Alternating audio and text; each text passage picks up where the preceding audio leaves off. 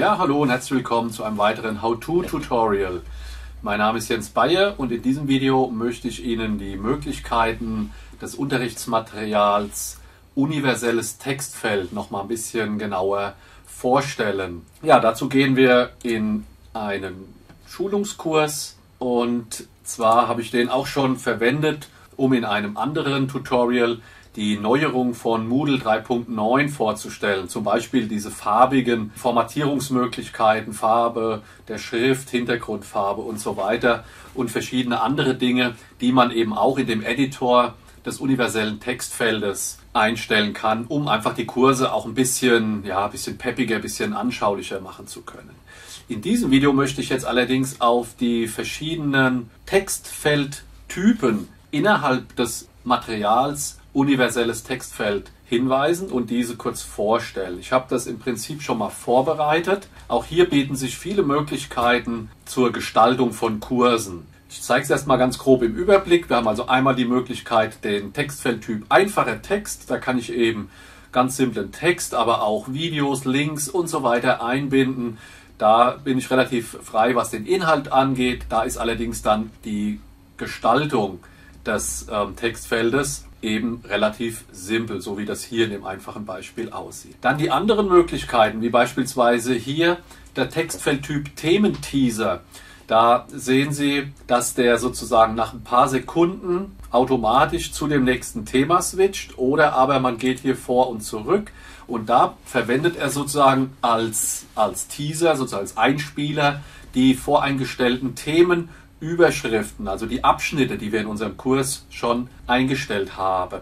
Daneben gibt es den Textfeldtyp Karussell. Der Unterschied zu dem Thementeaser ist der, dass hier nicht die Abschnitte dargestellt werden, sondern frei wählbare Themen, Bilder, Filme, Links oder was auch immer. Auch hier kann man das einstellen. Das geht automatisch oder man klickt einfach weiter. Die dritte Variante, die so ähnlich aussieht, ist der Textfeldtyp Gitter. Hier haben wir die Möglichkeit, verschiedene Kacheln zu installieren, die dann wiederum auch mit Links etwas aufzeigen. Also zum Beispiel äh, Definitionen, die sich dahinter verbergen. Und dann kann man damit auch sehr schön seine Kurse gestalten. Die letzte Variante, die es noch gibt, ist der Textfeldtyp Kursteaser.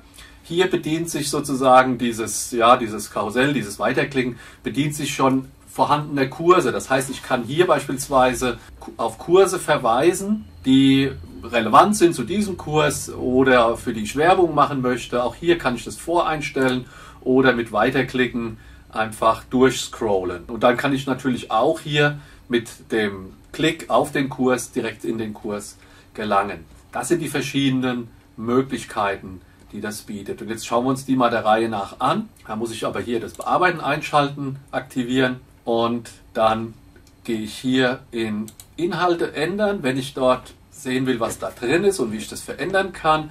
Das ist das, was ich in anderen Videos ja schon vorgestellt habe. Das einfache universelle Textfeld mit dem einfachen Text. Hier ist die Vorauswahl der verschiedenen Möglichkeiten. Und hier kann ich dann aber einfach, äh, ist hier relativ, hier kann ich natürlich schon auch die ganzen Formatierungsmöglichkeiten nutzen, wie in einem Texteditor. Ich kann aber auch hier Verlinkungen einbauen, ich kann hier Texte aus Word-Dateien integrieren, Videos, Emojis mittlerweile und, und, und. Das alles, wie gesagt, habe ich in anderen Tutorials schon vorgestellt. Das ist jetzt hier noch nichts groß Neues. Was ich bisher noch nicht gezeigt habe, sind diese anderen Möglichkeiten, nämlich einmal hier den Themen-Teaser. Da gehe ich mal drauf, wie das aussieht, wenn man den einstellt. Hier in der Beschreibung kann man kurz erklären, was äh, zu sehen ist. Das muss man aber nicht unbedingt machen. Das kann man auch hier ausklicken oder einfach freilassen. Und was hier halt praktisch schon voreingestellt ist, dass die Themen, die Abschnitte meines Kurses direkt in dem, ja, ich sag mal, in diesem Karussell, in diesem Teaser nacheinander gezeigt werden. Das heißt, da bedient er sich der schon voreingestellten Themenüberschriften. Auch hier brauchen wir jetzt gar nicht so groß drauf eingehen, was man da alles einstellen kann. Das zeige ich dann einmal bei einem anderen. Ne, das sieht man dann hier, kann man das weiterklicken. Das sind die Themenbereiche, die es hier in dem Kurs gibt, was man alles so mit ja, Moodle-Aktivitäten machen kann. Das nächste wäre das Karussell. Hier, wie gesagt, sind frei definierbare Inhalte für diese äh, weiterlaufenden, durchlaufenden Bilder. Man kann einmal auch wieder einen beschreibenden Text einfügen oder auch Bilder, Dateien, was auch immer. Und dann hat man hier die Möglichkeit, einmal das Karussell zu definieren. In der Darstellungshöhe kann man hier, dass es kleine oder größere Abschnitte sind, hier kann ich einstellen, in welchem Intervall die Kacheln abwechseln sollen. Und dann kann ich hier Kachel für Kachel definieren, indem ich entweder einen Text eingebe oder auch hier diese Bilddateien, die ich hier eingebaut habe, die dahinter liegen. Man könnte hier auch einen Link, der beispielsweise dann auf eine Datei oder auf ein Bild oder auf eine Website oder sonst was hinweist, einbinden. Und dann kann man hier nochmal, falls man unterschiedliche Dateigrößen hat, vielleicht noch ganz kleine Bilder halt eben auch für Smartphones beispielsweise einbauen. Und so kann ich das Kachel für Kachel machen. Also das ist die Möglichkeit des Textfeldtyps Karussell.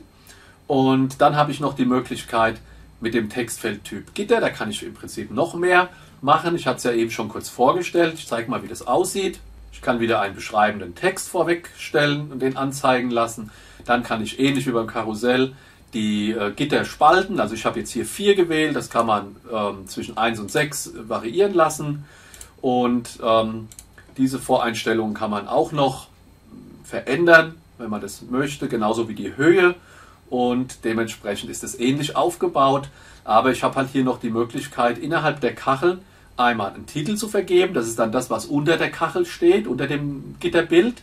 Dann kann ich hier wieder einen beschreibenden Text einfügen oder dann wieder entweder Bilder oder Dateien oder URLs verlinken. Das kann ich hier alles mit reinmachen und das auch für jede Kachel. Und hier kann ich sogar auch noch weitere Kacheln hinzufügen, wenn das Ganze noch umfangreicher werden soll. Und dementsprechend habe ich sehr viele Möglichkeiten mit dem Unterrichtsmaterial universellem Textfeld meine Kurse ein bisschen schöner zu gestalten. Und Sie können sich ja mal ausdenken, was äh, Ideen entwickeln, was man da, wie man das in den Unterricht einfließen lassen kann. Gerade hier so diese Möglichkeiten, dass man hier durch draufklicken auch dann wieder weitere Informationen erhält und das Ganze wesentlich schöner auch zum Durchgehen, zum Bearbeiten ist, als wenn das einfach nur linearer Text äh, wie in den ganz einfachen Moodle-Kursen. Okay, das, ach so, ich habe noch vergessen, das mit dem ähm, Kurs-Teaser. Das ist auch relativ einfach. Schauen wir uns an, ist alles ähnlich aufgebaut. Wir haben einen einführenden Text, der angezeigt werden kann. Und dann kann ich, das hier das andere, ich habe hier die Darstellung als Karussell gewählt, das kann man aber auch als Gitter machen. Das kann man hier kombinieren bzw. auswählen. Und was hier anders ist, man kann hier aus vorhandenen Kursen, entweder kennt man die Kurs-ID, dann kann man die eingeben oder danach suchen, oder er bietet mir halt auch hier schon voreingestellte Kurse aus unserem Moodle an die ich dann auswählen kann. Sie sehen es ja hier oben, das sind die vier ausgewählten, die dann eben durchlaufen durch das Karussell. Ne, das ist jetzt hier nicht so attraktiv in der Darstellung, weil halt die Kursbezeichnungen ohne Bild und alles äh, eingerichtet wurden. Auch da, denke ich, kann man das noch wenn die Kurse selbst auch zum Beispiel mit einem Kursbild noch verknüpft sind, kann man das noch ein bisschen attraktiver gestalten. Ja, das soll es erstmal gewesen sein zum Thema universellem Textfeld und was man damit alles anstellen kann. Ich wünsche viel Spaß beim selber ausprobieren.